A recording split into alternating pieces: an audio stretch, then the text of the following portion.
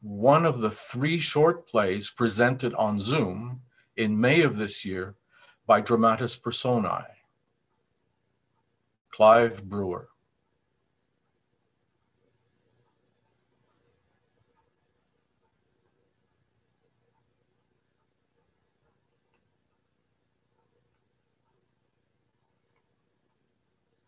Stately, plump Buck Mulligan came from the stairhead, bearing a bowl of lather on which a mirror and a razor lay crossed.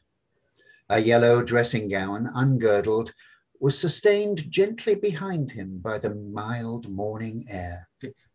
He held the bowl aloft and intoned, Introibo ad altare Dei.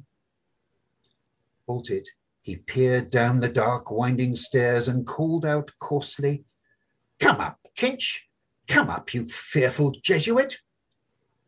Solemnly he came forward and mounted to the round gun rest. He faced about and blessed gravely thrice the tower, the surrounding country, and the awaking mountains. Then, catching sight of Stephen Dedalus, he bent towards him and made rapid crosses in the air, gurgling in his throat and shaking his head. Stephen Dedalus, displeased and sleepy, leaned his arms on the top of the staircase and looked coldly at the shaking, gurgling face that blessed him, equine in its length, and at the light, untonsured hair, grained and hued like pale oak. Buck Mulligan peeked an instant under the mirror and then covered the bowl smartly. Back to barracks, he said sternly. He added in a preacher's tone, For this so dearly beloved is the genuine Christine, body and soul and blood and oons. Slow music, please. Shut your eyes, gents. One moment. A little trouble about those white corpuscles. Silence, all. He peered sideways up and gave a long, low whistle of call, then paused a while in rapt attention, his even white teeth glistening here and there with gold points. Chrysostomos. Two strong, shrill whistles answered through the calm. Thanks, old chap. That will do nicely. Switch off the current, will you? he skipped off the gunrest and looked gravely at his watcher, gathering about his legs the loose folds of his gown. The plump shadowed face and sullen oval jowl recalled a prelate, patron of arts in the Middle Ages. A pleasant smile broke quietly over his lips. The mockery of it, he said gaily. Your absurd name, an ancient Greek he pointed his finger in friendly jest and went over to the parapet, laughing to himself. Stephen Dedalus stepped up, followed him wearily halfway, and sat down on the edge of the gun rest, watching him still as he propped his mirror on the parapet, dipped the brush in the bowl, and lathered cheeks and neck. Buck Mulligan's gay voice went on. My name is absurd too. Malachi Mulligan, two dactyls. But it has a Hellenic ring, hasn't it? Tripping and sunny like the buck himself. We must go to Athens. Will you come if I can get the aunt to fork out 20 quid? He laid the brush aside and, laughing with delight, cried, Will he come, the jejune Jesuit? Ceasing, he began to shave with care. Tell me, Mulligan, Stephen said quietly. Yes, my love. How long is Haynes going to stay in this tower? Buck Mulligan showed a shaven cheek over his right shoulder. God, isn't he dreadful? A ponderous Saxon. He thinks you're not a gentleman. God, these bloody English. Bursting with money and indigestion. Because he comes from Oxford. You know, Dedalus, you have the real Oxford manner. He can't make you out. Oh, my name for you is the best. Kinch, the knife blade. He shaved wearily over his chin. He was raving all night about a black panther, Stephen said. Where is his gun case? A woeful lunatic, Mulligan said. Were you in a funk? I was, Stephen said with energy and growing fear. Out here in the dark with a man I don't know, raving and moaning to himself about shooting a black panther. You saved men from drowning. I'm not a hero, however. If he stays on, here I am off. Buck Mulligan frowned at the lather on his razor blade. He hopped down from his perch and began to search his trouser pockets hastily. Scatter, he cried thickly. He came over to the gun rest and, thrusting a hand into Stephen's upper pocket, said, Lend us a loan of your nose rag to wipe my razor. Stephen suffered him to pull out and hold up on show by its corner a dirty, crumpled handkerchief. Buck Mulligan wiped the razor blade neatly. Then, gazing over the handkerchief, he said, The bird's nose rag, a new art colour for our Irish poets. Snot green. You can almost taste it, can't you? He mounted to the parapet again and gazed out over Dublin Bay, his fair oak pale hair stirring slightly. God, isn't the sea what Algy calls it? A grey sweet mother, the snot green sea, the scrotum tightening sea, epi oinopa ponton, ah, Dedalus, the Greeks. I must teach you. You must read them in the original. Thalatta, Thalatta. She is our great sweet mother. Come and look. Stephen stood up and went over to the parapet. Leaning on it, he looked down on the water and on the mail boat clearing the harbour mouth of Kingstown. Our mighty mother, Buck Mulligan said. He turned abruptly his great searching eyes from the sea to Stephen's face. The aunt thinks you killed your mother. That's why she won't have let me have anything to do with you. Someone killed her, Stephen said gloomily. You could have knelt down, damn it, Kinch, when your dying mother asked you. I'm Hyperborean as much as you, but to think of your mother begging you with her last breath to kneel down and pray for her, and you refused. There is something sinister in you. He broke off and lathered again lightly his farther cheek. A tolerant smile curled his lips. What a lovely mummer, he murmured to himself. Kinch, the loveliest mummer of them all. He shaved evenly and with care, in silence, seriously.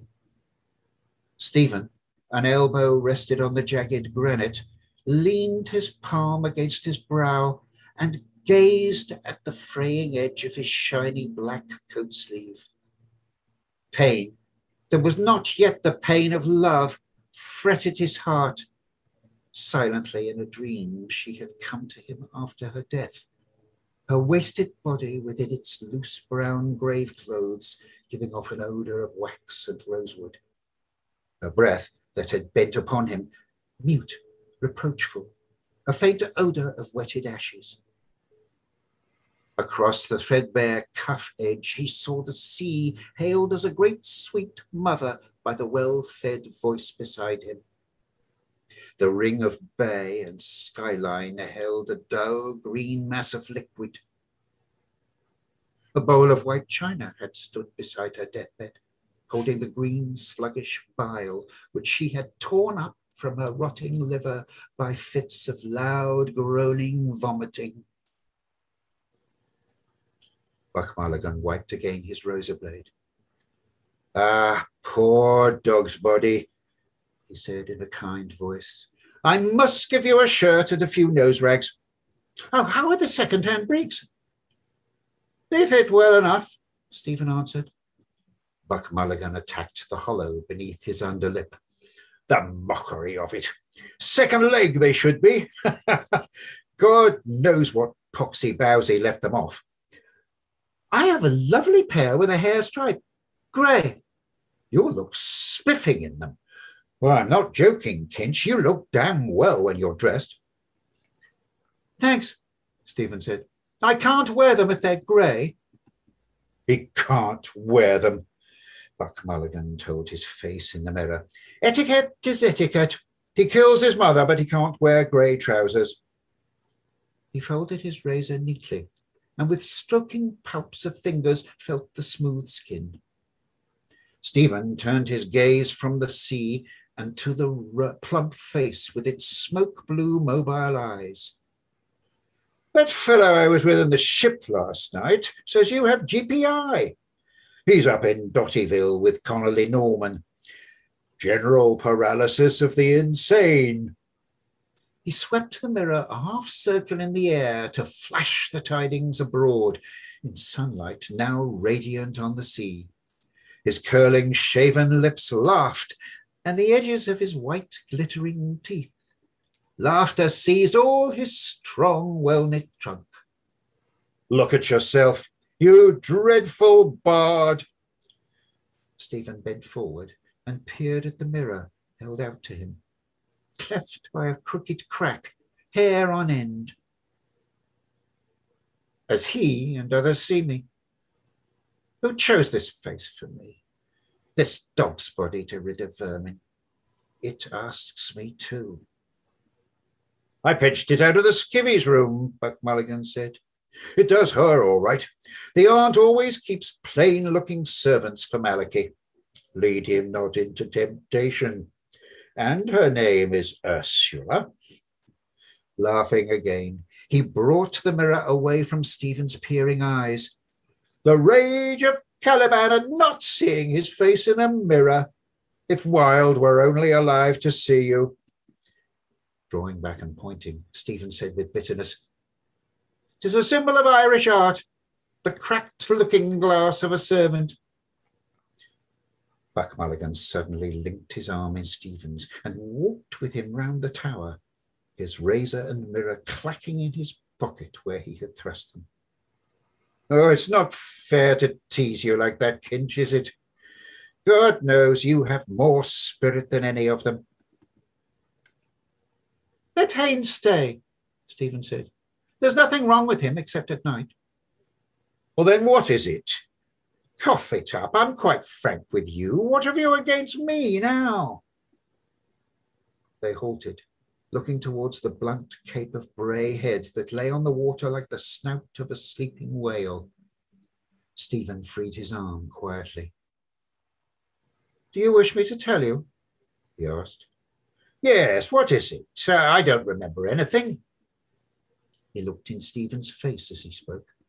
A light wind passed his brow, fanning softly his fair, uncombed hair and stirring silver points of anxiety in his eyes. Stephen, depressed by his own voice, said, Do you remember the first day I went to your house after my mother's death? Buck Mulligan frowned quickly and said, What? Where? I can't remember anything. I remember only ideas and sensations. Why? What happened in the name of God? You were making tea, Stephen said, and I went across the landing to get more hot water. Your mother and some visitor came out of the drawing room. She asked you who was in your room. Yes. What did I say? I forget. You said, Oh, it's only Dedalus, whose mother is beastly dead. A flush, which made him seem younger and more engaging, rose to Buck Mulligan's cheek. Did I say that? Well, what harm is that? He shook his constraint from him nervously. And what is death? Your mother's or yours or my own? You saw only your mother die. I see them pop off every day in the Mater and Richmond and cut up into tripes in the dissecting room. It's a beastly thing and nothing else. It simply doesn't matter. You wouldn't kneel down to pray for your mother on her deathbed when she asked you. Why? Well, because you have the cursed Jesuit strain in you, only it's injected the wrong way. To me, it's all a mockery and beastly. The cerebral lobes are not functioning. I mean, she calls the doctor Sir Peter Teazle and picks buttercups off the quilt. Humour her till it's over. You crossed her last wish at death, and yet you sulk with me because I don't whinge like some hired mute from Lalouette's. Absurd. I suppose I did say it. I didn't mean to offend the memory of your mother. He had spoken himself into boldness. Stephen, shielding the gaping wounds which the words had left in his heart, said very coldly, I am not thinking of the offence to my mother. Well, of what then? Buck Mulligan asked. Of the offence to me, Stephen answered. Buck Mulligan swung round on his heel. Oh, an impossible person, he exclaimed. He walked off quickly round the parapet. Stephen stood at his post, gazing over the calm sea towards the headland. Sea and headland now grew dim. Pulses were beating in his eyes, veiling their sight, and he felt the fever of his cheeks. A voice within the tower called loudly, Are you up there, Mulligan? I'm coming, Buck Mulligan answered. He turned towards Stephen and said, Look at the sea. What does it care about offences? Oh, chuck Loyola Kinchin, come on down. The Sassenach wants his morning rashers. His head halted again for a moment at the top of the staircase, level with the roof. Don't mope over it all day. I'm inconsequent. Give up the moody brooding. His head vanished, but the drone of his descending voice boomed out of the stairhead. And no more turn aside and brood upon life love's bitter mystery for Fergus rules the brazen cars. Wood shadows floated silently by through the morning peace from the stairhead seaward where he gazed. Inshore and farther out, the mirror of water whitened, spurned by light shot hurrying feet. White breast of the dim sea, the twining stresses two by two, a hand plucking the harp strings, merging their twining chords, wave white wedded words shimmering on the dim tide. A cloud began to cover the sun, slowly shadowing the bay in deeper green. It lay behind him, a bowl of bitter waters. Thank you.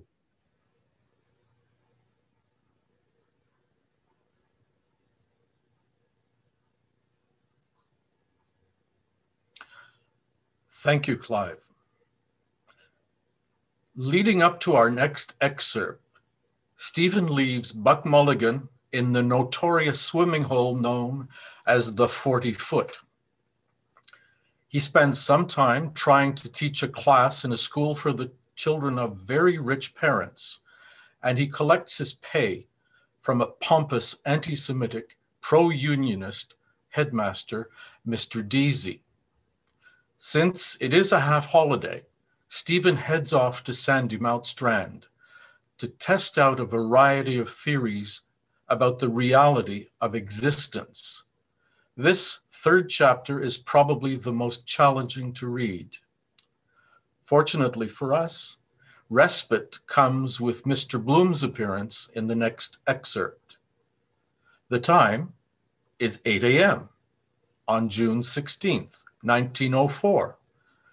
But this time, we are on the north side of the Liffey at number 7 Eccles Street, the abode of Mr. and Mrs. Leopold Bloom. Leopold is up early because he will be attending the funeral of an acquaintance, Paddy Dignam. He interacts with the family cat before going around the corner to buy a pork kidney for his breakfast daydreams about the Middle East, the original land of his ancestors, and fantasizes about the maid next door who happens to be in line before him at the butcher shop. Molly Bloom is still in bed because she will be receiving Blazes Boylan, her manager, in the afternoon to plan her upcoming tour, among other things. Leopold thinks of cats and mice while he is out during the day. Read the rest of the chapter to see what's at play. Liam Phelan Cox was born in Clonmel, County Tipperary, and schooled by Jesuits in London. He spent or misspent 49 years as a teacher and translator. He is the 45 year old resident of Saint Henri Park, a step away from the original Église des Irlandais in the southwest. He remains a rebel. Liam?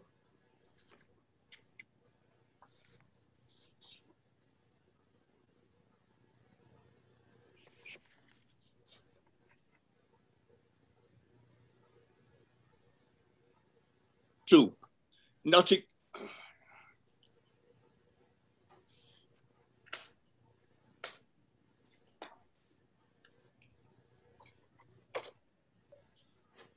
Do you hear me?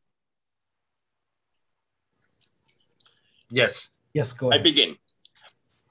Mr. Leopold Bloom ate with relish the inner organs of beasts and fowls. He liked thick giblet soup, nutty gizzards, a stuffed roast heart, liver slices fly, fried with crust crumbs, fried hen cod's roes. Most of all, he liked grilled mutton kidneys, which gave to his palate a fine tang of faintly scented urine. Kidneys were in his mind as he moved about the kitchen softly, righting her breakfast things on the humpy tray. Jellied light and air were in the kitchen, but out of doors, gentle summer morning everywhere made him feel a bit peckish. The coals were reddening. Another slice of bread and butter. Three, four, right. She didn't like her plate full. Right. He turned from the tray, lifted the kettle off the hob, and set it sideways on the fire. It sat there, dull and squat, its spout stuck out. A cup of tea soon. Good. Mouth dry. The cat walked stiffly round a leg of the table with tail on high. Oh, there you are, Mr. Bloom said, turning from the fire. The cat mewed in answer and stalked again stiffly round the leg of the table, mewing. Just how she stalks over my writing table. Purr, oh, scratch my head. Purr. Mr. Bloom watched curiously, kindly, the lithe black form. Clean to see, the gloss of her sleek hide, the white button under the butt of her tail, the green flashing eyes. He bent down to her, his hands on his knees. Milk for the pussens, he said. the cat cried. He halted before Dlugacz's window, staring at the hanks of sausages, polonies, black and white. Fifteen multiplied by... The figures whitened in his mind, unsolved. Displeased, he let them fade. The shiny links, packed with force meat, fed his gaze, and he breathed in tranquilly the lukewarm breath of cooked, spicy pig's blood. Mr. Bloom pointed quickly uh, to catch up and walk behind her if she went slowly, behind her moving hams. Pleasant to see first thing in the morning. Hurry up, damn it, make hay while the sun shines. She stood outside the shop in sunlight and sauntered lazily to the right. He sighed down his nose. Can't they never understand? Soda chapped hands, crusted toenails too, brown scapulars in tatters defending her both ways. The sting of disregard glowed to weak pleasure within his breast. And for another, a constable off duty, cuddling her in Eccles Lane. They like them sizable. Prime sausage. Oh, please, Mr. Policeman, I'm lost in the wood. Threepence, please. Thank you, sir. Another time. Two letters and a card lay on the hall floor. He stooped and gathered them. Mrs. Marion Bloom. His quickened heart slowed at once. Bold hand, Mrs. Marion. Poldy! Entering the bedroom, he half closed his eyes and walked through warm yellow twilight towards her tousled head. Who are the letters for? He looked at them. Mullingar, Millie. A letter from me from Millie, he said carefully, and a card to you, and a letter for you. He laid her card and letter on the twill bedspread near the curve of her knees. Do you want the blind up? He prodded a fork into the kidney and slapped it over, then fitted the teapot on the tray. Its hump bumped as he took it up. Everything on it? Bread and, and butter, four, sugar, spoon, her cream. Yes. He carried it upstairs, his thumb inside the teapot handle. Nudging the door open with his knee, he carried the tray in and set it on the chair by the bedhead. What a time you were, she said. She doubled a slice of bread into her mouth, asking, What time is the funeral? Oh, 11, I think, he answered. I didn't see the paper. There's a smell of burn, she said. Did you leave Anton on the fire? Oh, the kidney, he cried suddenly. End of segment. Thank you.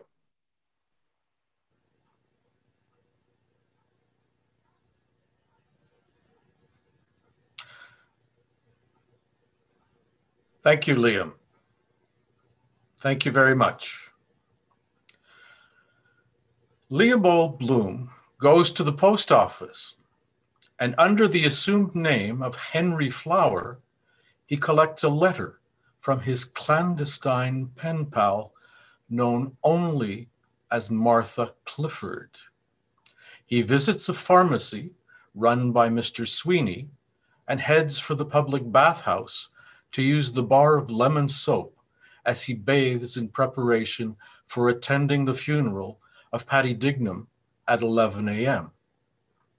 Leopold then joins the funeral procession as it wends its way from Dignam's house in Sandycove and through the city to Prospect Cemetery in Glasnevin. He thinks about life and death and about his son Rudy, who died at 11 days old 11 years ago.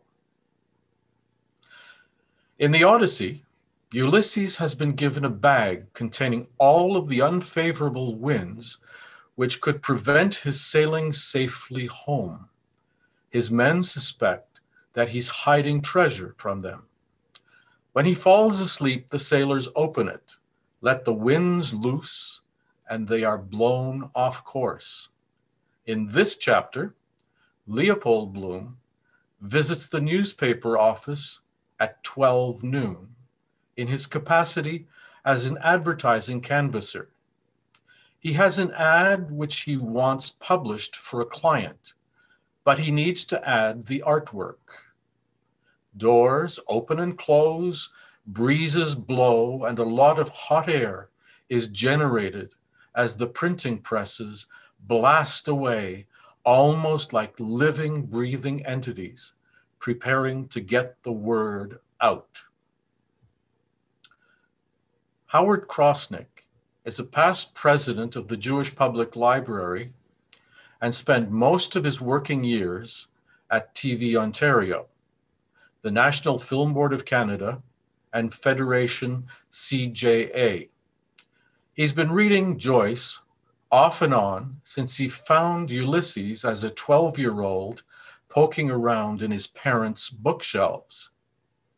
He didn't understand it then, and after 63 years, He thinks he understands it a bit better. At least, he says, it's easier than the wake.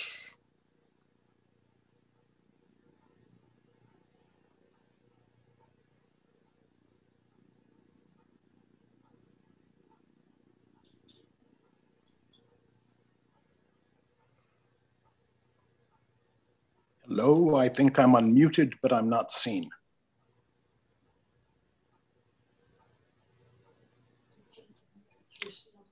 Aha.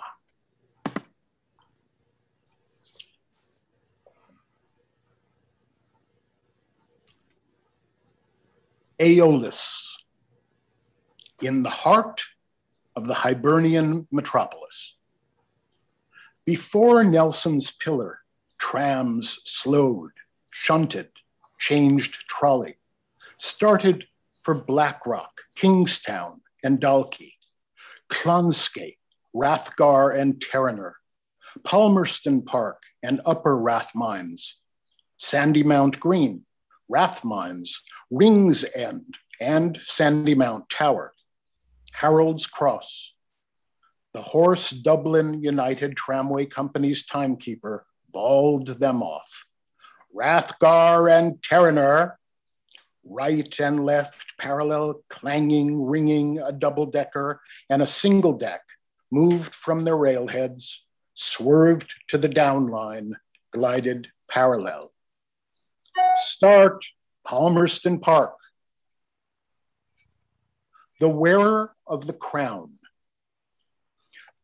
Under the porch of the General Post Office, shoeblacks called and polished, parked in North Prince's Street, His Majesty's vermilion mail cars, bearing on their sides the royal initials ER, received loudly flung sacks of letters, postcards, letter cards, parcels, insured and paid for local, provincial, British, and overseas delivery. Gentlemen of the press, gross booted draymen rolled barrels, dull thudding out of Prince's stores and bumped them up on the brewery float.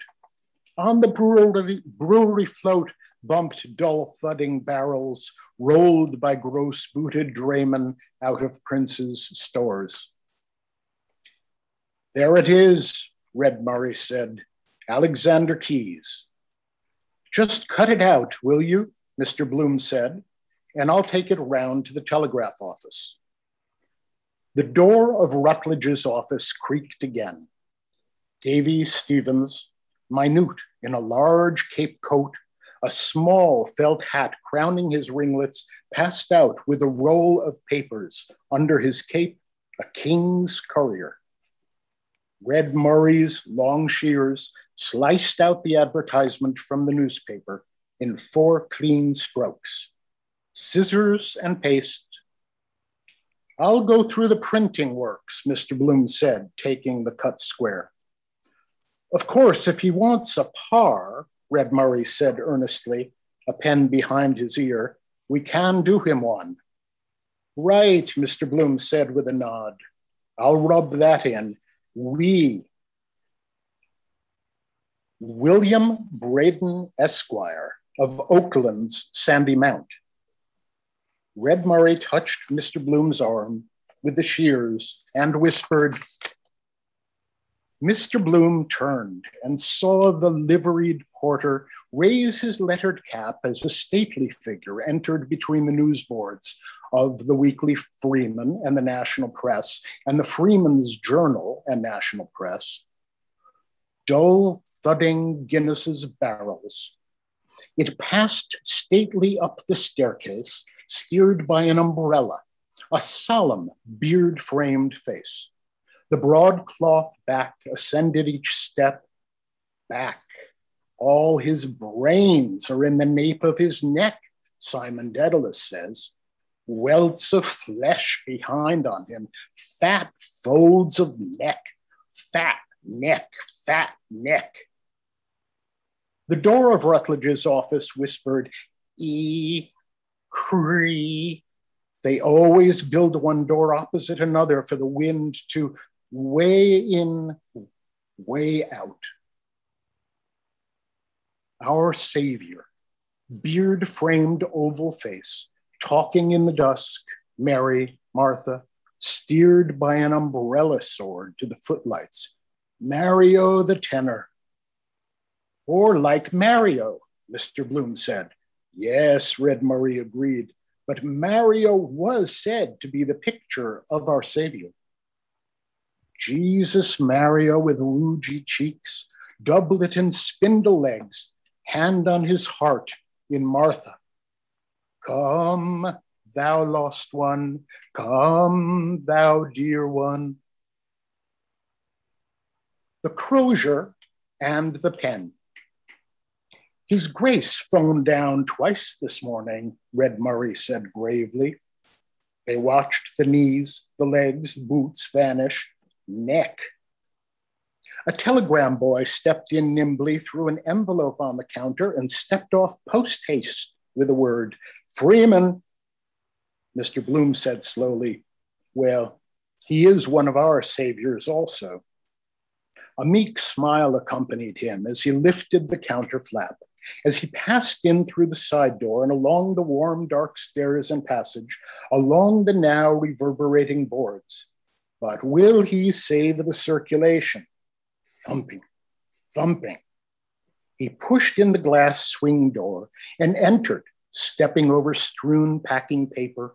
Through a lane of clanking drums, he made his way toward Nannetti's reading closet how a great daily organ is turned out. Well, excuse me. With unfeigned regret, it is that we announce the of a most respected Dublin Burgess. Hynes here too, account to the funeral probably. Thumping, thump. This morning, the remains of the late Mr. Patrick Dignam machines, smash a man to atoms if they got caught, rule the world today. His machines are pegging away to, like these got out of hand, fermenting, working away, tearing away, and that old gray rat tearing to get in. How a great daily organ is turned out.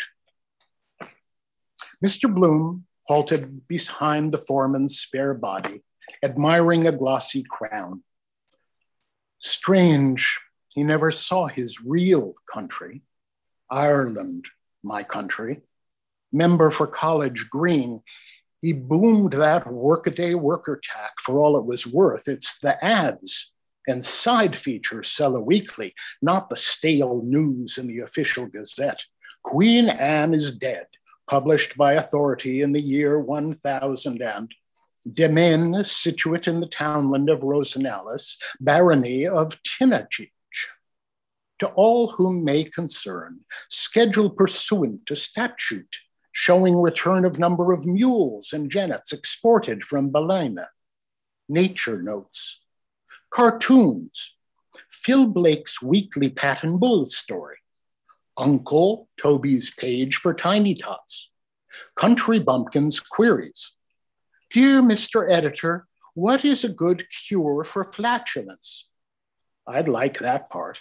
Learn a lot teaching others.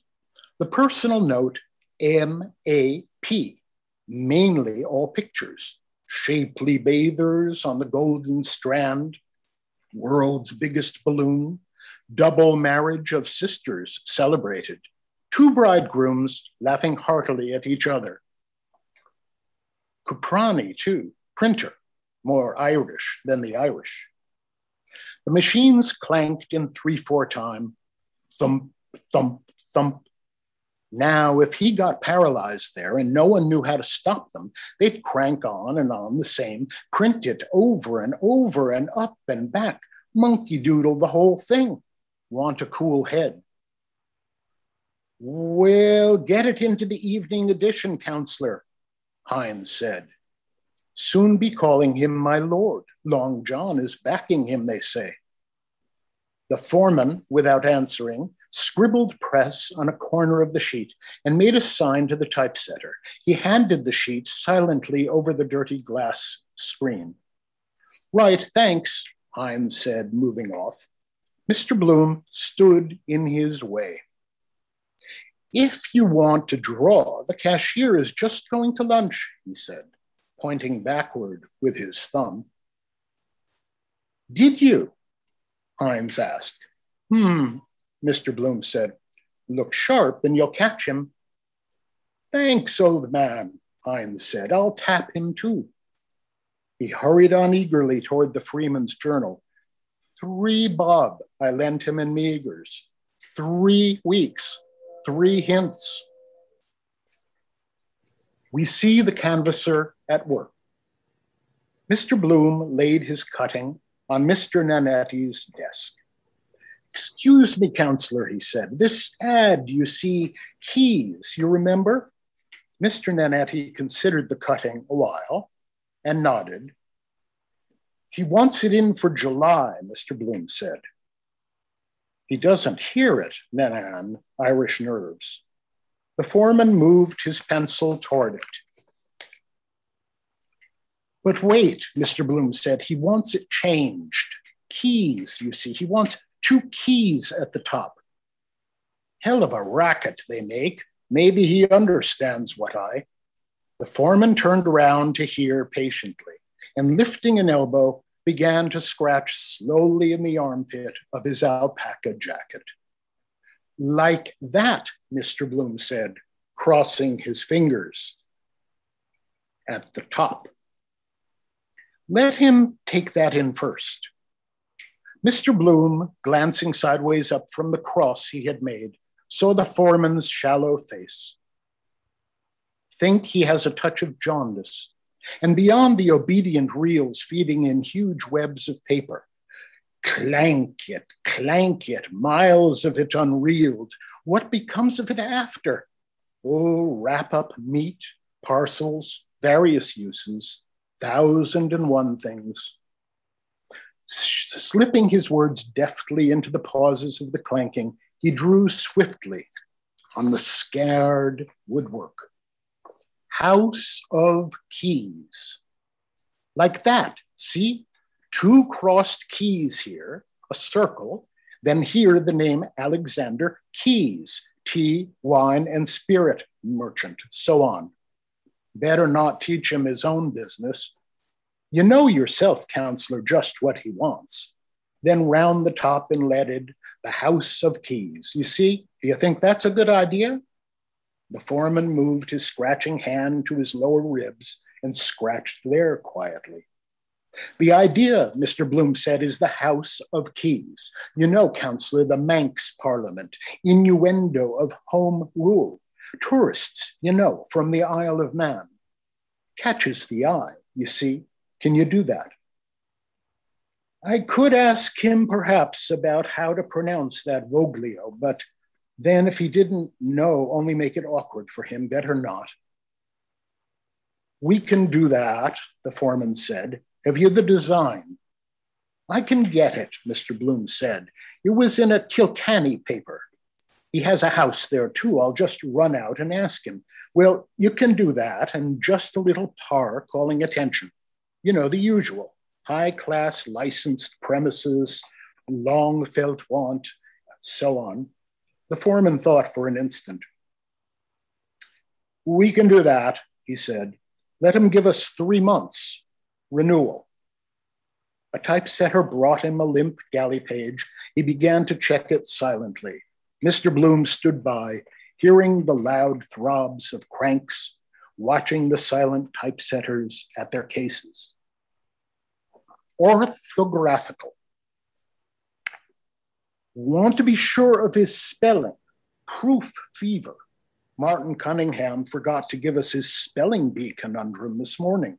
It is amusing to view the unpar one are uh, and bara two R's. Is it? Double S meant of a harassed peddler while gouging Oh, the symmetry of a peeled pear under a cemetery wall. Silly, isn't it? Cemetery put in, of course, on account of the symmetry. I could have said when he clapped on his topper, Thank you. I ought to have said something about an old hat or something. No, I could have said, Looks as good as new now. See his fizz then. Slit the nethermost deck of the first machine jogged forwards its flyboard with slit the first batch of quire folded papers, slit, almost human the way it slit to call attention, doing its level best to speak. That door too slit, creaking, asking to be shut. Everything speaks in its own way. Slit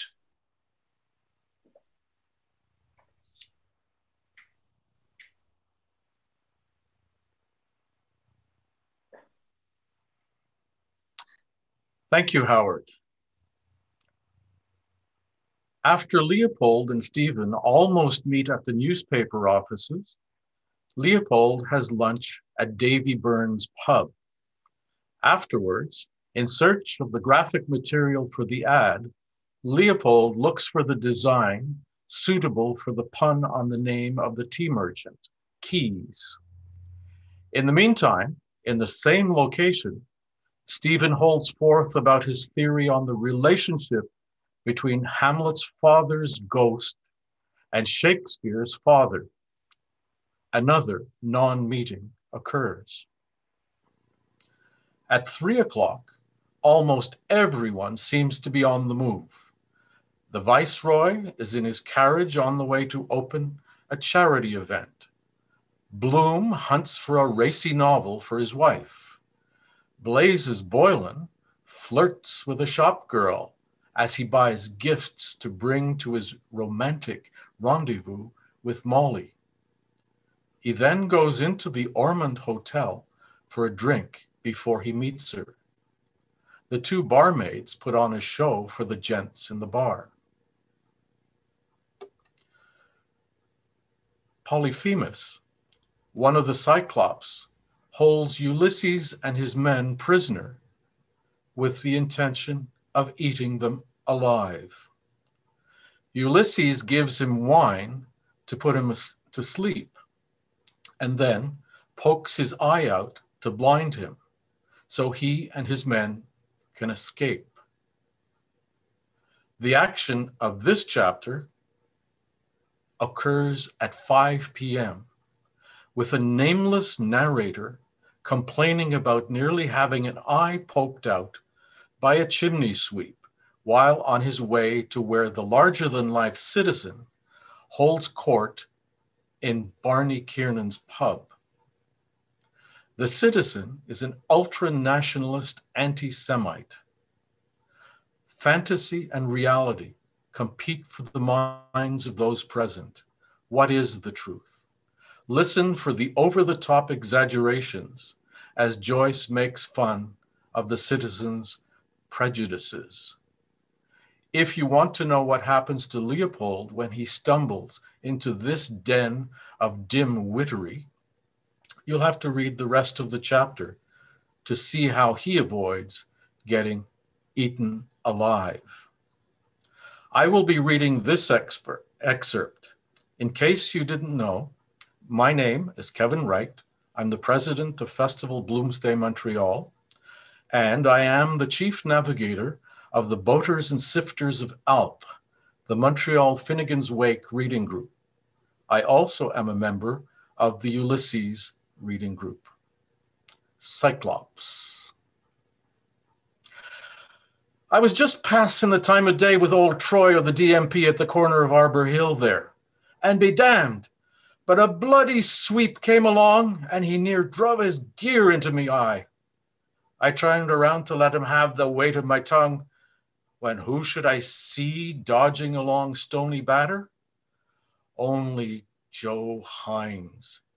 Lo, Joe, says I, how are you blowing? Did you see that bloody chimney sweep near shove me eye out with his brush? Soot's luck, says Joe. Who's the old bollocks you were talking to? Oh, old Troy, says I, was in the force. I'm on two minds not to give that fellow in charge for obstructing the thoroughfare with his brooms and ladders. What are you doing around those parts? says Joe. Devil a much, says I.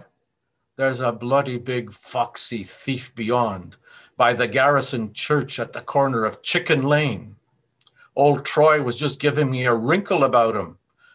Lifted any god's quantity of tea and sugar to pay three bob a week, said he, at a farm in the county down, off a hop of my thumb by the name of Moses Herzog, over there near Heytesbury Street.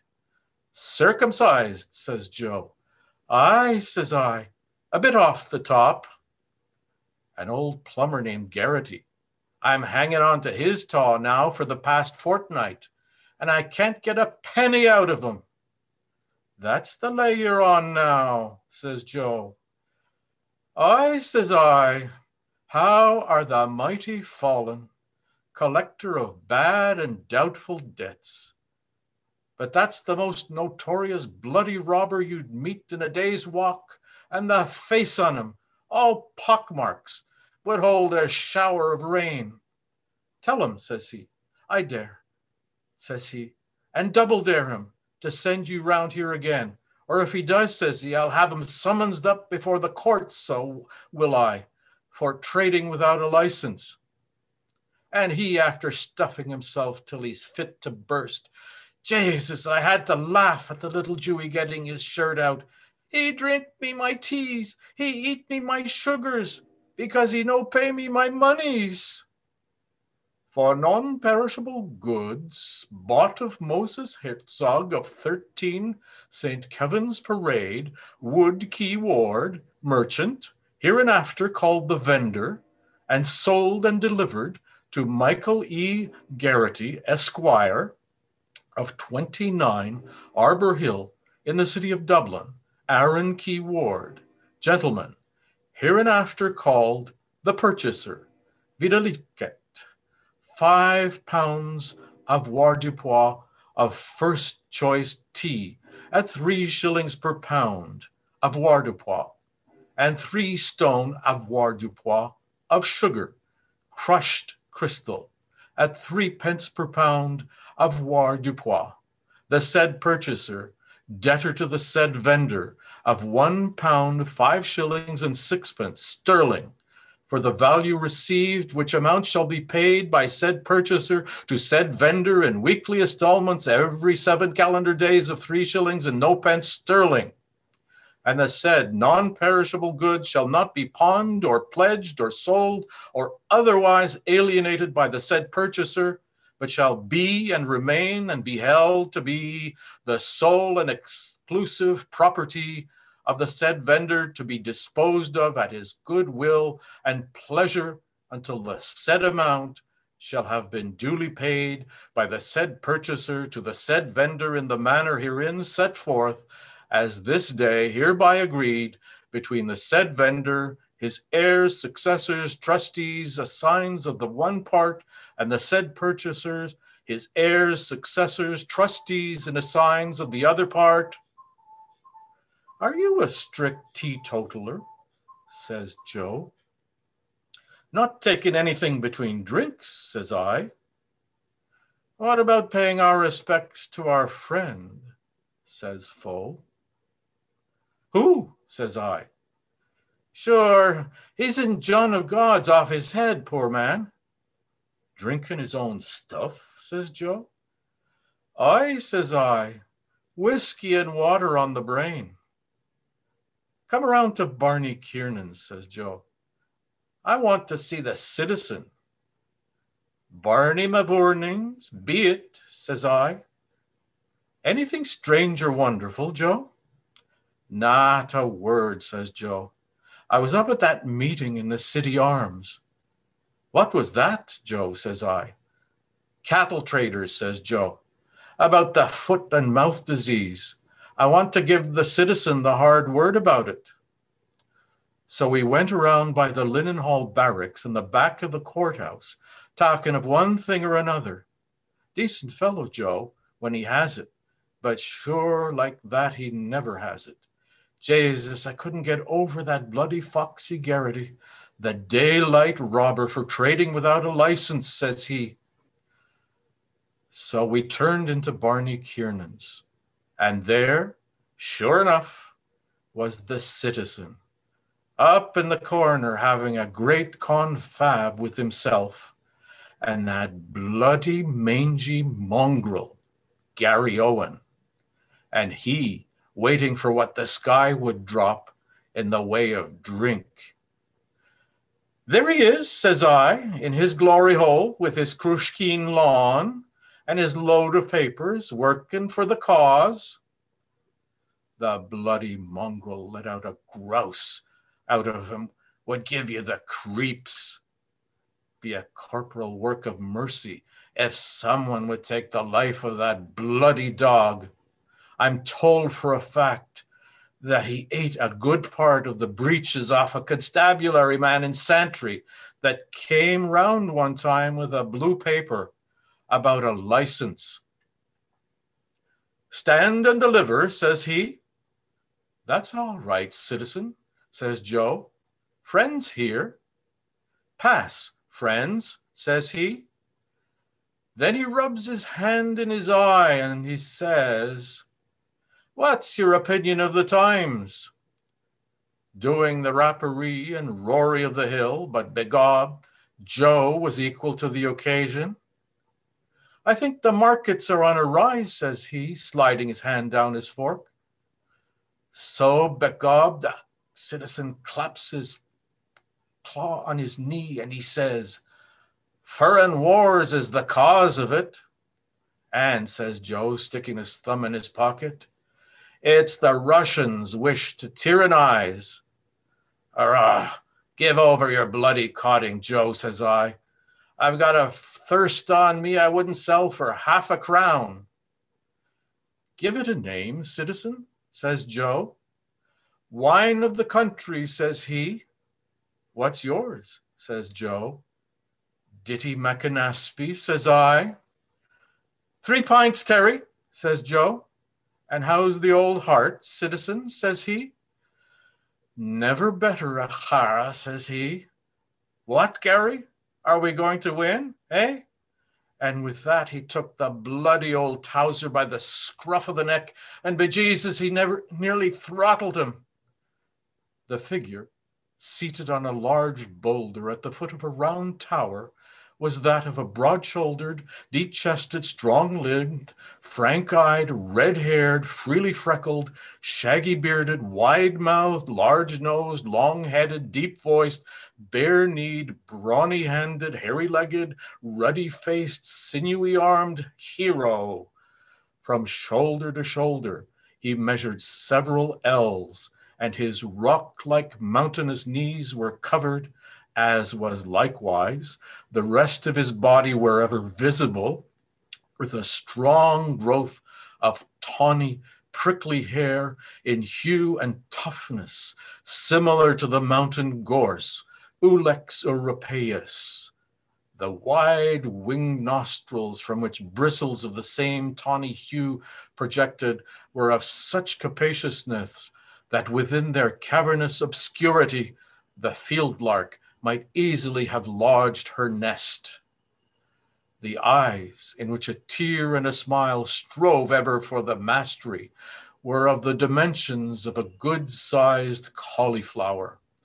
A powerful current of warm breath issued at regular intervals from the profound cavity of his mouth, while in rhythmic resonance the loud, strong hail reverberations of his formidable heart thundered, rumbling, causing the ground, the summit of the lofty tower, and the still loftier walls of the cave to vibrate and tremble.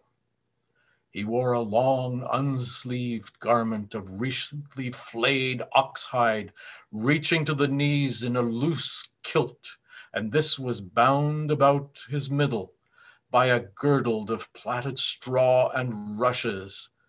Beneath this, He wore trews of deerskin, roughly stitched with gut. His nether extremities were encased in high Balbriggan buskins, dyed in lichen purple, the feet being shod with brogues of salted cowhide, laced with the windpipe of the same beast. From his girdle hung a row of sea stones which dangled at every movement of his portentous frame and on those were graven with rude yet striking art the tribal images of many Irish heroes and heroines of antiquity. Cuchulainn, Conn of a hundred battles, Niall of the nine hostages, Brian of Kincora, the Ardri Malachy, Art MacMurragh, Shane O'Neill, Father Bra- John Murphy, Owen Roe, Patrick Sarsfield, Red Hugh O'Donnell, Red Jim McDermott, Soggarth, Ian O'Growney, Michael Dwyer, Francie Higgins, Henry Joy McCracken, Goliath, Horace Wheatley, Thomas Conneff, Peg Woffington, the village blacksmith, Captain Moonlight, Captain Boycott, Dante Alighieri, Christopher Columbus, St. Fursa, St. Brendan, Marshall McCann, Charlemagne, Theobald Wolfe Tone, the mother of the Maccabees, the last of the Mohicans, the Rose of Castile, the man for Galway, the man that broke the bank at Monte Carlo, the man in the gap, the woman who didn't,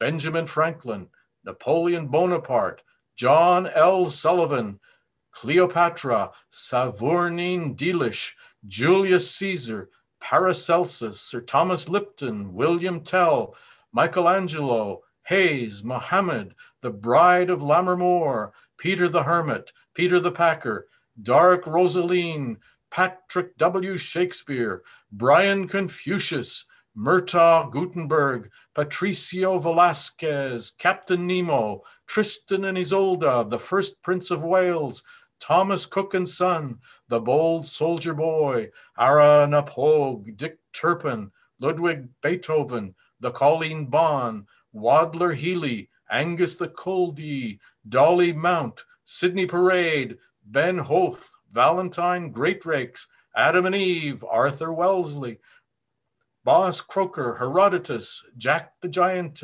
Killer, Gautama Buddhi, Lady Godiva, the La- Lily of Killarney, Balor of the Evil Eye, the Queen of Sheba, Acky Nagle, Joe Nagle, Alessandro Volta, Jeremiah O'Donovan Rossa, Don Philip O'Sullivan Beare. A crouched spear of acuminated granite rested by him, while at his feet reposed a savage animal of the canine tribe whose stertorous gasps announced that he was sunk in uneasy slumber, a supposition confirmed by hoarse growls and spasmodic movements which his master repressed from time to time by tranquilizing blows of a mighty cudgel rudely fashioned out of Paleolithic stone.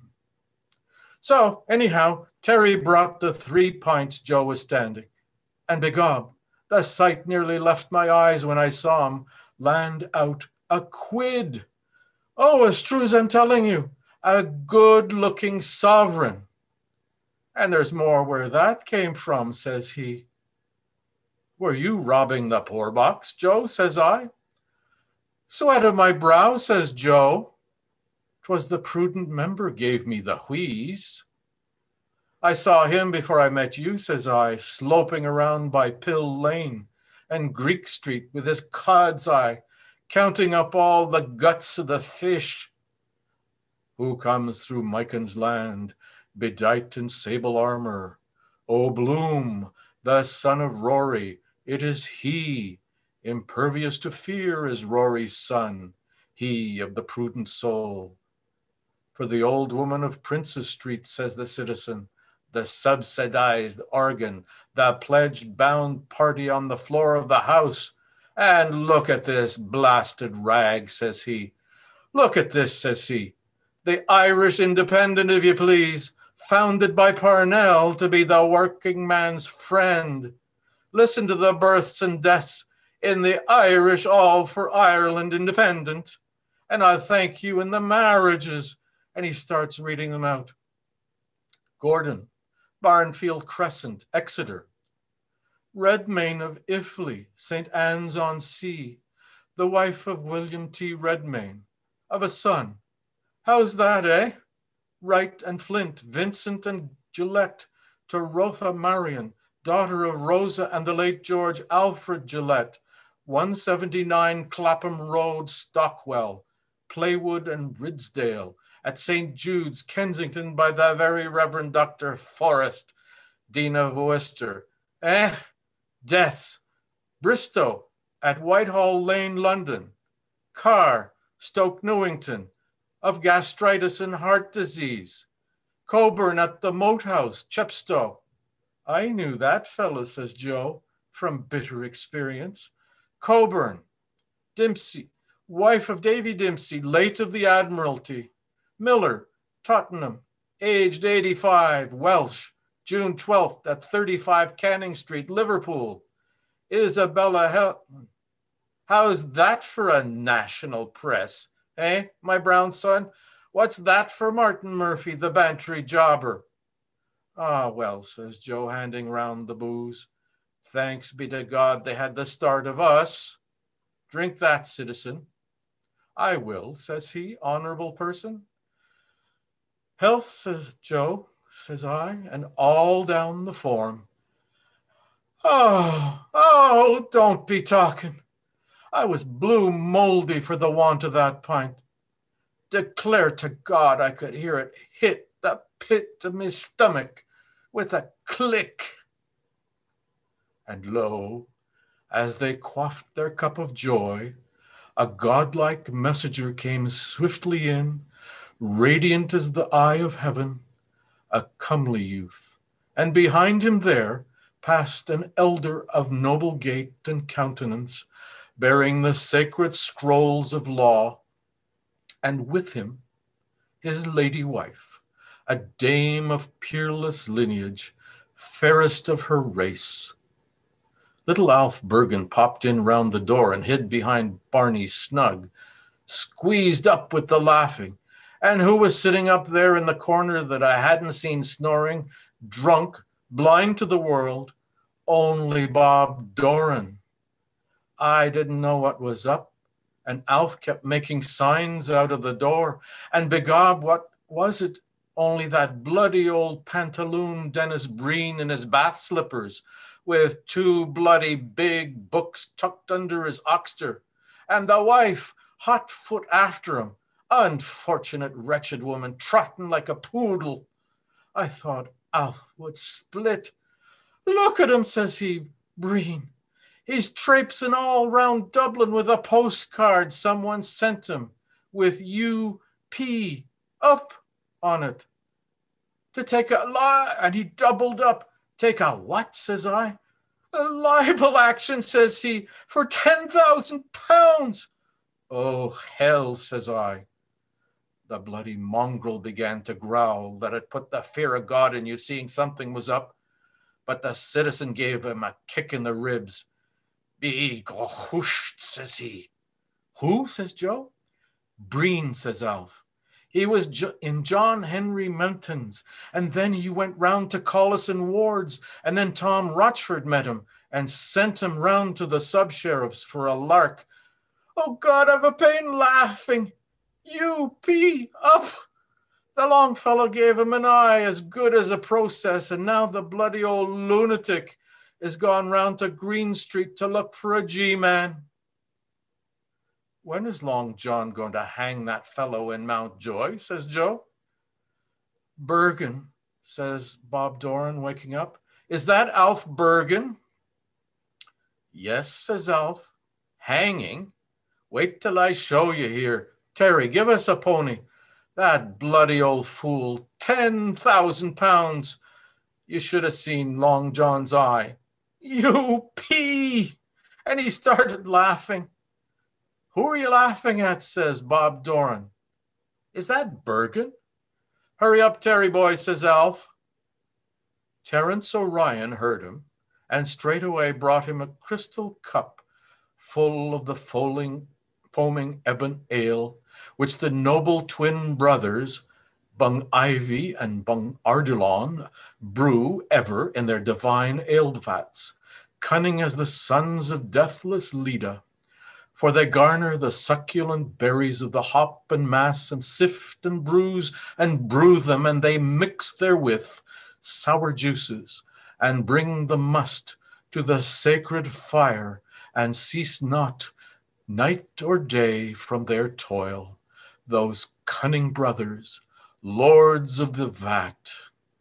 Then did you, chivalrous Terence, hand forth, as to the manner born, that nectarous beverage, and you offered the crystal cup to him that thirsted, the soul of chivalry, in beauty akin to the immortals. But he, the young chief of the O'Bergans, could ill brook to be outdone in generous deeds, but gave therefore with gracious gesture a testoon of costliest bronze.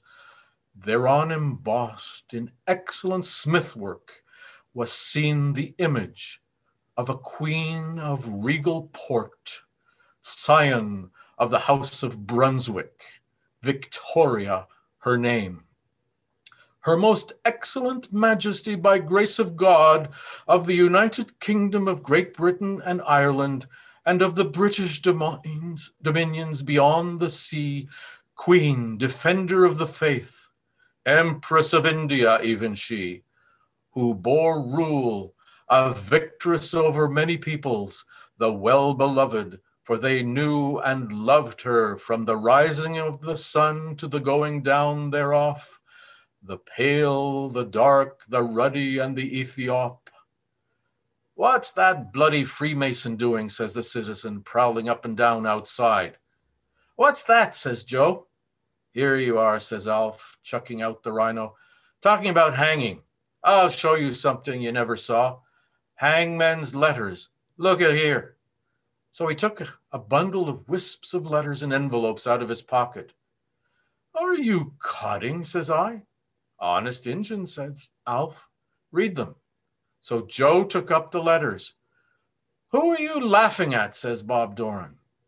So I saw there was going to be a bit of a dust. Bob's a queer chap when the porter's up in him. So says I, just to make talk. How's Willie Murray those times, Alf? I don't know, says Alf. I saw him just now in Capel Street with Paddy Dignam. Only I was running after that. You what? says Joe, throwing down the letters. With who? With Dignam, says Alf. Is it Paddy? says Joe. Yes, says Alf. Why? Don't you know? He's dead, says Joe. Paddy Dignam, dead? says Alf. Aye, says Joe. Sure, after seeing him not five minutes ago, says Alf, as plain as a pikestaff. Who's dead? says Bob Doran. You saw his ghost then, says Joe. God between us and harm. What? says Alf. Good Christ, only five. What? And Willie Murray with them? The two of them near whatchamacallums? What? Dignam dead? What about Dignam? says Bob Doran. Who's talking about dead? says Alf. He's no more dead than you are. Maybe so, says Joe. But they took the liberty of burying him this morning anyhow. End of the chapter. Now, after barely escaping from the Ash uh, ultra nationalist enclave, Leopold goes to the same beach where Stephen tested his theories of reality earlier in the morning. Some young ladies and some young children are out on the beach. Gerty MacDowell catches Leopold's eye and he sees something more interesting than the religious service in the nearby church. The scene is climactic, to say the least. After that, Leopold has business elsewhere. When Pat Machen decided to move from teaching in an elementary school to teaching in a high school, the principal of the latter asked the principal of the former what she should teach. Oh, she should teach English. She loves to read out loud. And that is how Pat got to be a high school English teacher. She still likes to read out loud. Pat Machen.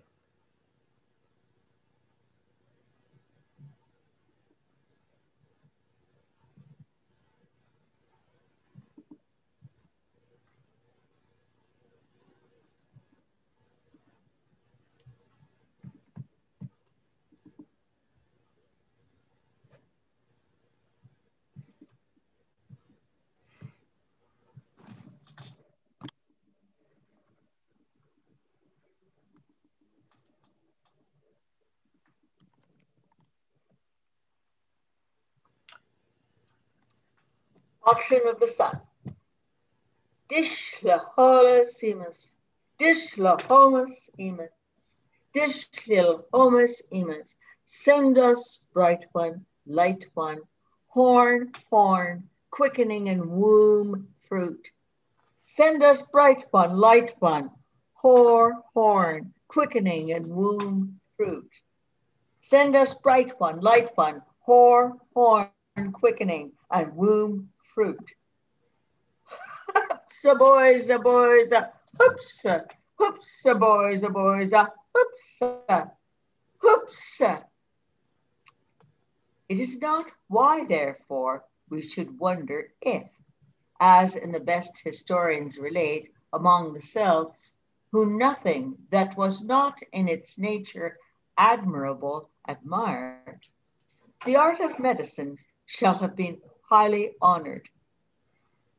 Not to speak of hostels, leper yards, sweating chambers, plague graves, their greatest doctors, the O'Shiels, the O'Hickeys, the O'Leals, have sedulously set down the diverse methods by which the sick and the relapsed found again health, whether the malady had been the trembling withering or loose boyconnell flux. Certainly, in every public work which in it anything of gravity contains, preparation should be with importance commensurate, and therefore a plan was by them adopted. Whether by pre- preconsidered or as the maturation of experience, it is difficult in being said, which the discrepant opinions of subsequent inquirers are not up to the present congrued to render manifest.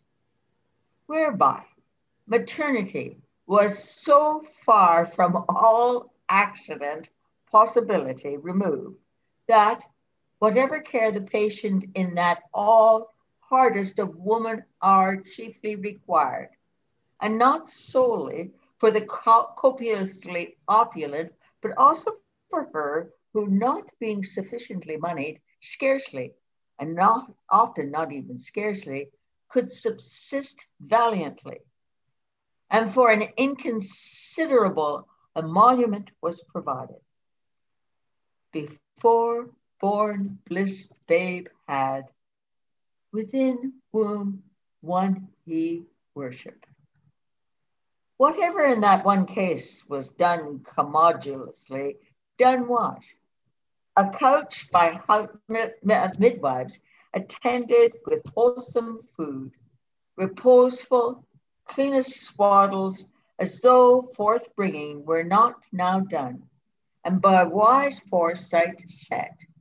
But to this no less of what drugs there is need and surgical implements which are pertaining to her case, not omitting aspect of the all very distracting spectacles in various latitudes by our terrestrial orb offered together with images, divine and human.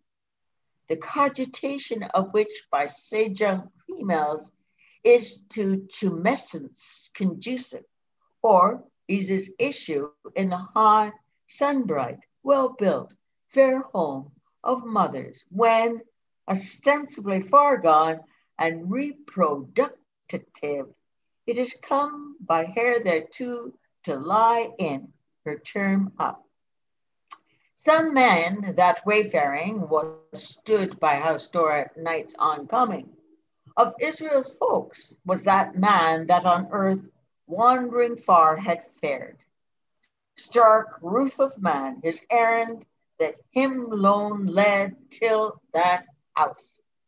Of that house, A. Horne is Lord. Seventy beds keeps he there teeming mothers are wont that they lie for to thrall and bring forth bairns. Hail, so God's angel to Mary quoth. Watchers tway their walk, white sisters in ward sleepless. Smarts they still, sickness soothing. In twelve months, moons thrice an hundred truest bedthanes they twain are, for home holding wariest ward. In ward wary, the watcher, hearing come that man mild-hearted, eft rising, with Squire, Squire E. Wimple, to him her gate wide undid. Lo, Leven leaping lightens, and I blink Ireland's westward welkin full she dread that God, the wrecker all mankind, would foredo with water for his evil sins. Christ's roods made she on breast bone, and him drew that he would rather infare under her thatch. That man, her will wotting worthful, went in Horne's house. The man that was come to the house that spake to the nursing woman, and he asked her how it fared with the woman that lay there in childbed.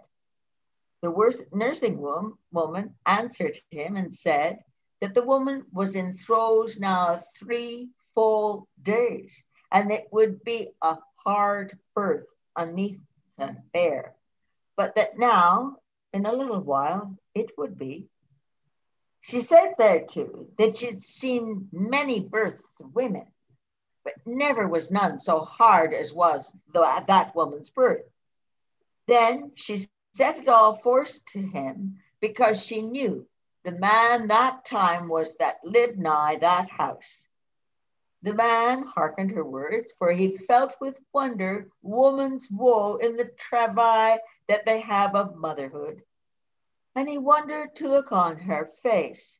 That was a fair face for any man to see, but yet was she left after long years a handmaid. Nine, twelve blood flows chiding her childless. And whilst they spoke, the door of the castle was opened, and there nigh them a mickle noise, as if many that sat there at meat. This meanwhile, this good sister stood by the door and begged them at the reverence of Jesu, our author, liege Lord, to leave their wassailing. For there was above one quick with child, a gentle dame, whose time hied fast.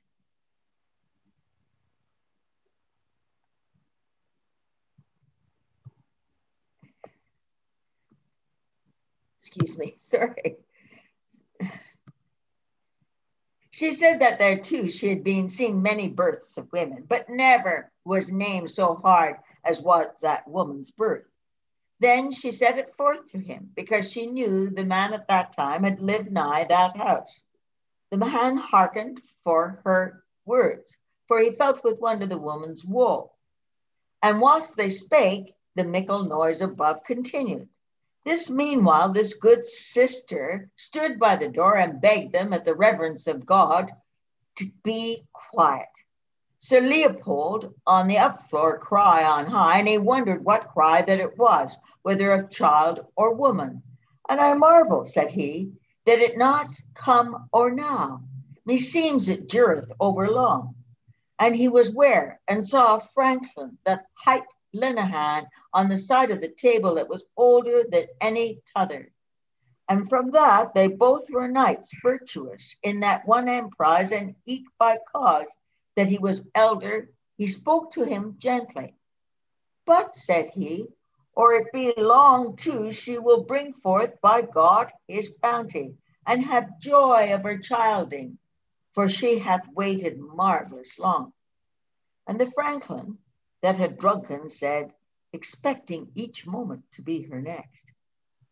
Also, he took the cup that stood to for him, for him needed never none asking or desiring of him to drink. And now drink, said he, fully, delectably. And he quaffed as far as he might to their both's health, for he was a passing good man of his lustiness. And Sir Leopold, that was the goodliest guest that ever sat in Scholars Hall, and was the meekest man and the kindest that ever laid husbandly hand under hand, and that was the very truest knight of the world, one that never did minion service to lady gentle, pledged him courtly in the cup. Woman's woe with wonder pondering. So Thursday, 16th June. Dignam laid in clay of an apoplexy, and after hard drought, please God, rained. A bargeman coming in by water a 50 mile or thereabouts with turf saying, the seed won't sprout. Fields of thirst, very sad colored, and stunk mightily. The quags and toffs too, hard to breathe, and all the young quicks cleaned, consumed without sprinkle this long while back, as no man remembered to be without. But by and by, as said, this evening after sundown, the wind sitting in the west, biggish, swollen clouds to be seen as the night increased, and the weather wise pouring up at them and some sheet lightnings at first, and after, past 10 of the clock, one great stroke with a long thunder. And a brace of shakes all scamper pell-mell within door for the smoking shower. The men making shelter with their straws, with clout or kerchief. Women folk skipping off with kirtles catched up soon as the pour came down. The news was imparted with a circumspection recalling the ceremonial usage of the sublime Porte by the second female infirmarium to the junior med- medical officer in residence, who, in his turn, announced to the delegation that an heir had been born. When he had betaken himself to the woman's apartment to assist in the prescribed ceremony of the afterbirth, in the presence of the Secretary of State for Domestic Affairs and the members of the Privy Council, silent in unanimous exhaustion and approbation. The delegates, chafing under the length and solemnity of their vigil and hoping that the joyful occurrence would palliate a license which the simultaneous absence of Abigail and obstetrician rendered the easier, broke out at once into a strife of tongues. In vain, the voice of Mr. Canvasser Bloom was heard endeavoring to urge, to mollify, to refrain. Burts out flung my Lord Stephen, giving the cry, and a tag and a bobtail of them all after cockerel, jackapates, Welsher, pill doctor, punctual Bloom at the heels with a universal grabbing at headgear, ash plants, bilboes, Panama hats, and scabbards, Zermatt, alpenstocks, and whatnot. A detail of lusty youth, noble every student there. Nurse Callan took a back in the hallway, cannot stay them, or smiling surgeon coming downstairs with news of placentation ended, a full pound of milligram. Hark him on. The door, it opened. He, they out, tumultuously, off for a minute's race, all bravely legging it. Burke's of Denzils and Halls, their ulterior goal. Dixon follows, giving them sharp language, but raps out an oath. He too and on. Bloom, stays with nurse, a thought to send a kind word to happy mother and nursling up there. Dr. Diet and Dr. Quiet, looks she too not other now? Ward of watching in Horne's house has told its tale in that washed out pallor. They all being gone, a glance of mother wit living, he whispers close in going, Madam, when comes the stork bird for thee?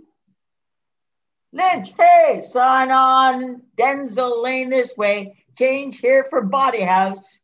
We too, she said, will seek the kips where Shady Mary is. Righto, any old time. Laetabuntur and cubibulus sui. Whisper, who's the sooty elves, the Johnny and the Black Duds? Hush, sinned again the light, and even now that day is at hand, and he will come to judge the world by fire. But implerentur scripturae, strike up a ballad. Then outspake medical Dick to his comrade medical Davy. Christicle, who's this excrement yellow gospeler in the Merrion Hall? Elijah is coming, washed in the blood of the Lamb. Come on, you wine fizzling, gun sizzling, booze guzzling existences. Come on, you dog gone, bull necked, beetle browed, hog jowled, peanut brained, weasel, weasel eyed four flushers, farce alarms and excess baggage. Come on, you triple extract of infamy. Alexander J. Christ Dowie, that's my name. That's yanked to glory most half of this planet from Frisco Beach to Vladivostok. The deity ain't no nickel dime bum, bum show. I put it to you that he's on the square and corking fine business proposition. He's the grandest thing yet, and don't you forget it. Shout salvation to King Jesus.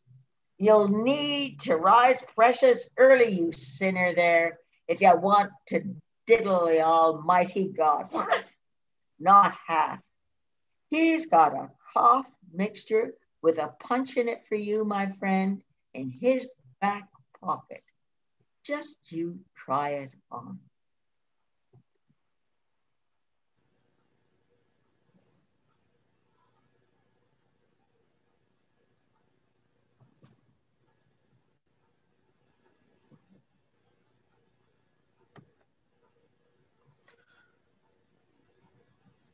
Thank you, Pat. We've, we've just heard the evolution of the English language from Anglo-Saxon to American slang. And in the meantime, Mrs. Purefoy has given birth to a son. All the medicals are on their way out in the rain to seek some kind of pleasure, and we'll find out what happens. The time is now 2 a.m. on Friday, June 17th, 1904. The location is Bloom's house at number 7 Eccles Street, from where Leopold had left early in the morning of June 16th.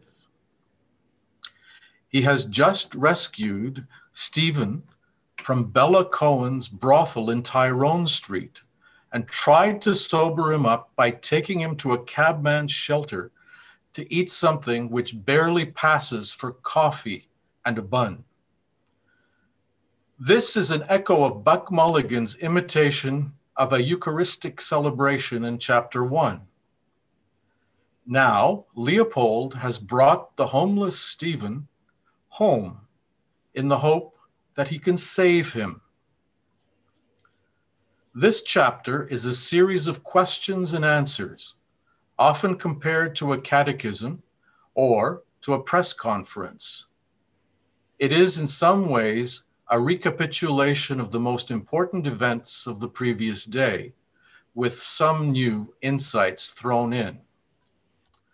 This was supposed to be the last chapter of the book, and in early editions was marked with a big black dot at the end. Over the years, Susan Gilmore has been involved in a number of community productions, including variety shows, stage plays, radio plays, and dramatic readings. She has performed with the Montreal Bloomsday Group since its inception outdoors at McGill University in 2011. The global Bloomsday reading of Ulysses in 2013 was a highlight, bringing together the world in a reading of the complete text. This annual Montreal Bloomsday reading is a joy. Again, this year, because of these exceptional circumstances, her husband, Alan Lombard, has agreed to read the role of questioner for this Zoom performance. Greater love hath no man. Ithaca, Susan, Alan.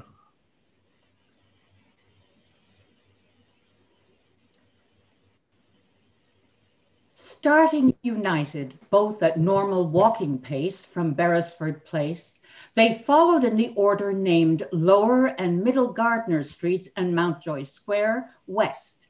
Then, at reduced pace, each bearing left, Gardiner's Place by an inadvertence as far as the farther corner of Temple Street. Then, at reduced pace with interruptions of halt, bearing right, Temple Street north as far as Hardwick Place. Of what did the duumvirate deliberate during their itinerary? Uh, music, literature, Ireland, Dublin, Paris, friendship, women, prostitution, diet, the influence of gaslight or the light of arc and glow lamps on the growth of adjoining paraheliotropic trees, exposed corporation emergency dust buckets, the Roman Catholic Church, ecclesiastical celibacy, the Irish nation, Jesuit education, careers, the study of medicine, the past day, the maleficent influence of the pre Sabbath, Stephen's collapse. Did Bloom discover common factors of similarity between their respective like and unlike reactions to experience? No, both were sensitive to artistic impressions, musical in preference to plastic or pictorial. Both preferred a continental to an insular manner of life, a cisatlantic to a transatlantic place of residence. Both indurated by early domestic training and an inherited tenacity of heterodox resistance professed their disbelief in many orthodox religious, national, social, and ethical doctrines both admitted the alternately stimulating and obtunding influence of heterosexual magnetism. Were their views on some points divergent? Stephen dissented openly from Bloom's views on the importance of dietary and civic self help, while Bloom dissented tacitly from Stephen's views on the eternal affirmation of the spirit of man in literature was there one point on which their views were equal and negative? The influence of gaslight or electric light on the growth of adjoining paraheliotropic trees. What act did Bloom make on their arrival at their destination? At the house steps of the fourth of the equidifferent uneven numbers, number seven Eccles Street, he inserted his hand mechanically into the back pocket of his trousers to obtain his latchkey. Was it there?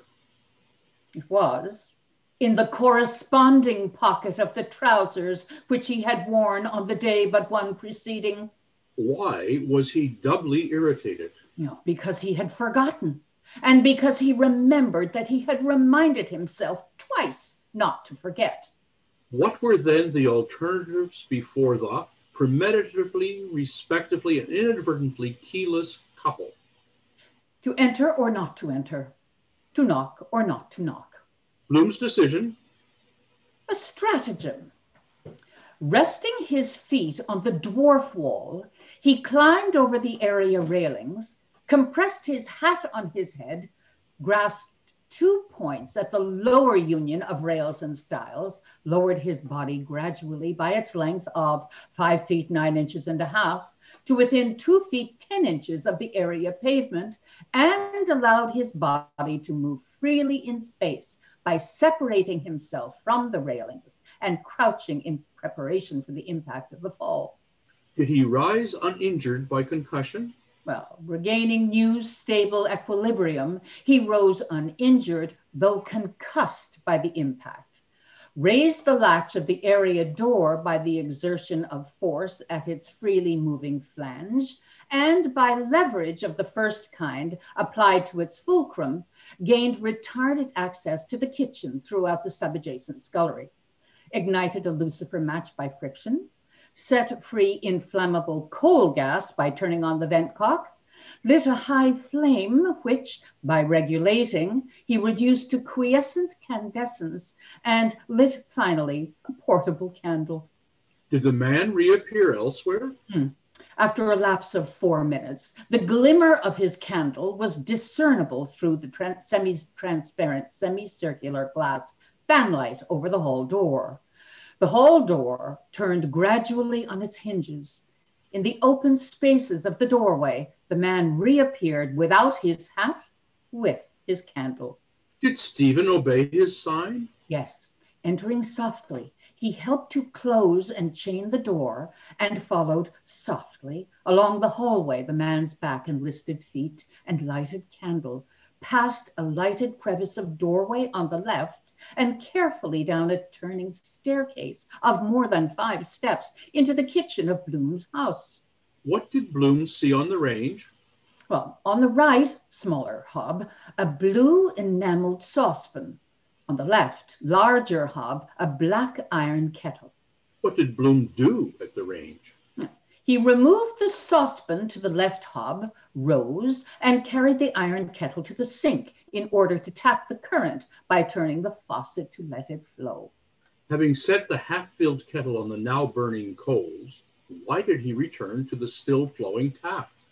Uh, to wash his soiled hands with a partially consumed tablet of Barrington's lemon flavored soap, to which papers still adhered bought 13 hours previously for fourpence and still unpaid for, in fresh, never changing, ever changing water, and dry them, face and hands, in a long red bordered Holland cloth passed over a wooden revolving roller. What additional didactic counsels did he similarly repress? Dietary, concerning the respective percentage of protein and caloric energy in bacon, salt ling, and butter, the absence of the former in the last named, and the abundance of the latter in the first named. Which seemed to the host to be the predominant qualities of his guest? Oh, confidence in himself, an equal and opposite power of abandonment and recuperation. How many previous encounters proved their pre existing acquaintance? Well, two. The first in the lilac garden of Matthew Dillon's house, Medina Village, Kimmage Road, Round Town, in 1887, in the company of Stephen's mother. Stephen then being of the age of five and reluctant to give his hand in salutation. The second in the coffee room of Breslin's Hotel on a rainy Sunday in the January of 1892, in the company of Stephen's father and Stephen's granduncle. Stephen being then five years older. Had Bloom and Stephen been baptized, and where, and by whom, cleric or layman? Well, Bloom three times by the Reverend Mr. Gilmer Johnston, M.A. alone, in the Protestant Church of St. Nicholas without Coombe. By James O'Connor, Philip Gilligan, and James Fitzpatrick together under a pump in the village of Swords, and by the Reverend Charles Malone, C.C., in the Church of the Three Patrons, Rathgar. Stephen, once, by the Reverend Charles Malone, C.C., alone, in the Church of the Three Patrons, Rathgar. What two temperaments did they individually represent? The scientific, the artistic. Now, what is home without Plumtree's potted meat? Oh, incomplete. with it an abode of bliss.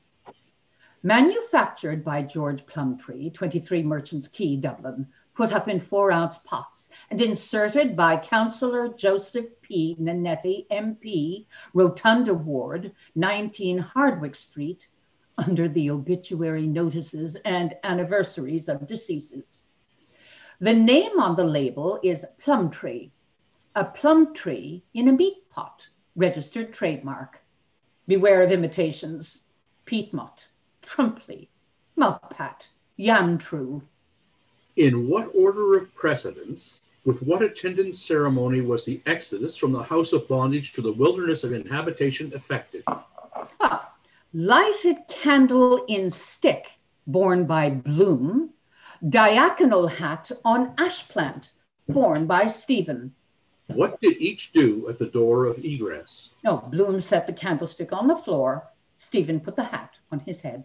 For what creature was the door of egress a door of ingress? For a cat. What spectacle confronted them when they, first the host, then the guest, emerged silently, doubly dark, from obscurity by a passage from the rear of the house into the penumbra of the garden? The heaven tree of stars hung with humid night blue fruit. What visible luminous sign attracted Bloom's, who attracted Stephen's gaze? In the second story rear of his Bloom's house, the light of a paraffin oil lamp with oblique shade projected on a screen of roller blind supplied by Frank O'Hara window blind curtain pole and revolving shutter manufacturers 16 Aungier Street. How did he elucidate the mystery of an invisible attractive person, his wife, Marion, Molly, Bloom, denoted by a visible splendid sign, a lamp? With indirect and direct verbal allusions or affirmations, with subdued affection and admiration, with description, with impediment, with suggestion. Both then were silent? Silent, each contemplating the other in both mirrors of the reciprocal flesh of their, his, not his fellow faces. Were they indefinitely inactive? Oh, at Stephen's suggestion, at Bloom's instigation, both, first Stephen, then Bloom, in penumbra, urinated, their sides contiguous, their organs of micturition reciprocally rendered invisible by manual circumposition, their gazes. First Bloom's, then Stephen's, elevated to the rejected luminous and semi-luminous shadow. How did the centripetal remainer afford egress to the centrifugal departer? Well, by inserting the barrel of an arruginated male key in the hole of an unstable female lock, obtaining a purchase on the bow of the key, and turning its wards from right to left, withdrawing a bolt from its staple, pulling inward spasmodically an obsolescent unhinged door, and revealing an aperture for free egress and free ingress.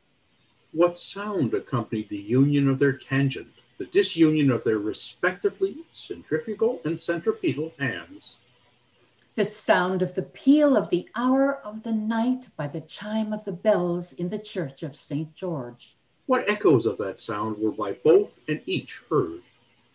By Stephen, Liliata rutilantium turma circumdet, iubilantium te virginium chorus excipiat.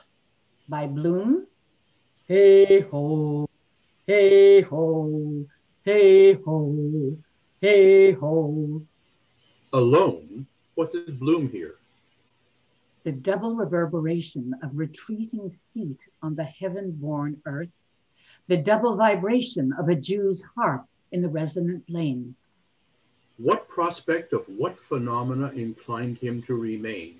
The disparition of three final stars, the diffusion of daybreak, the apparition of a new solar disk. Did he remain? With deep inspiration, he returned, retraversing the garden, re entering the passage, reclosing the door. With brief suspiration, he reassumed the candle, reascended the stairs, reapproached the door of the front room hall floor, and re entered. What miscellaneous effects of female personal wearing apparel were perceived by him?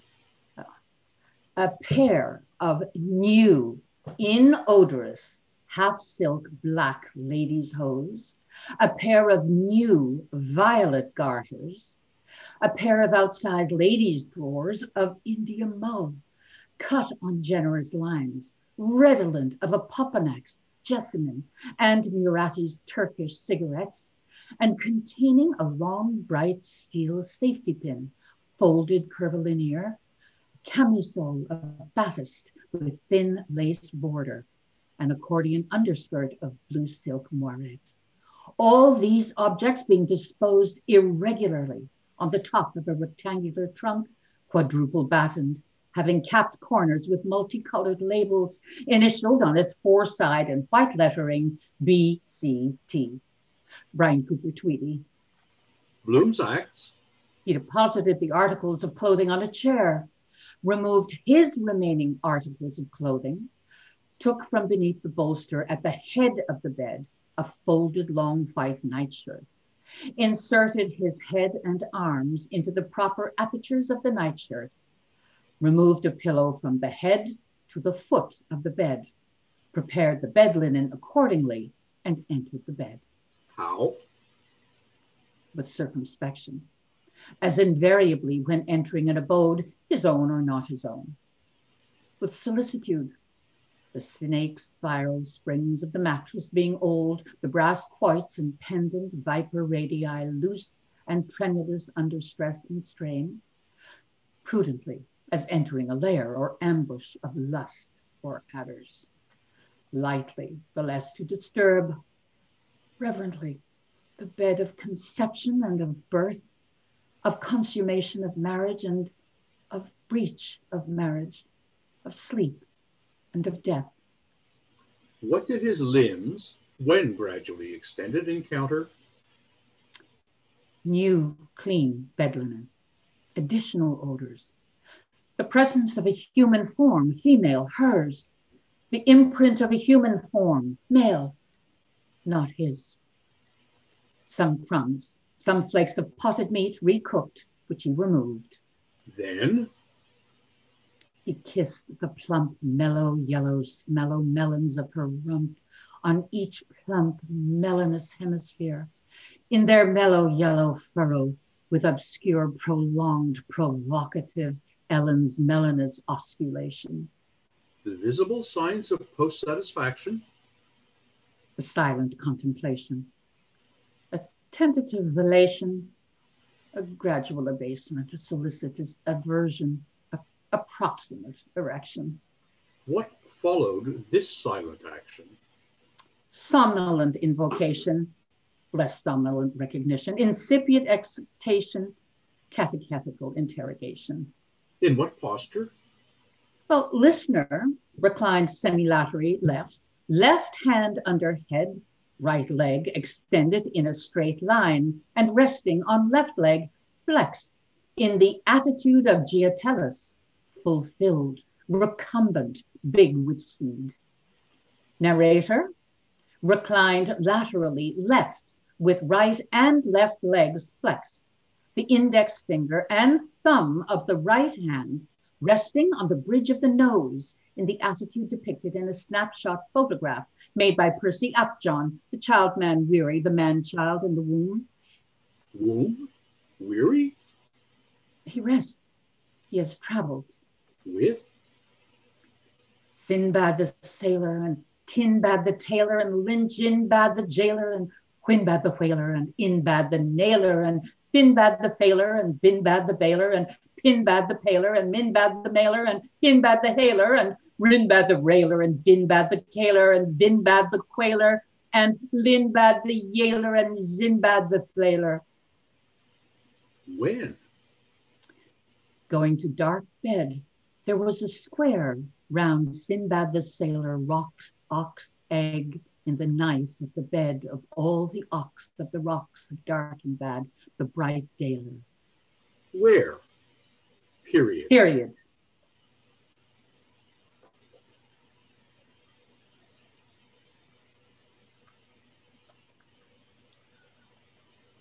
Thank you very much, Susan and Alan. This marks the end of the first part of the readings from the Epistle of James to the Hibernians.